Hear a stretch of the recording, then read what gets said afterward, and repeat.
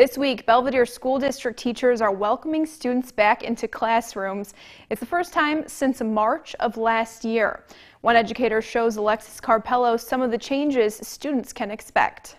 It's a combination of excited and nervous. Most of our kids have not been in a classroom since March 13th back in 2020. The Belvidere School District has begun to phase students back into the classroom for the first time this school year.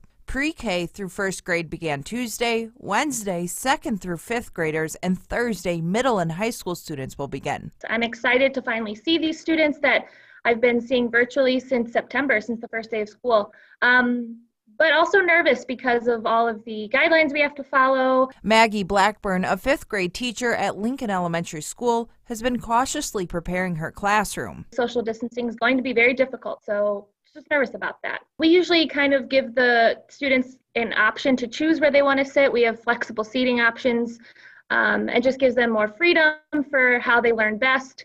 But now we're back to the old school rows um, of desks, and it just it just looks very different. About 55% or roughly 4,000 students in the district will be powering off their laptops and escaping the virtual classroom. Probably all of our school administrators uh, have and the school district have worked extra hard, worked a lot of nights and weekends.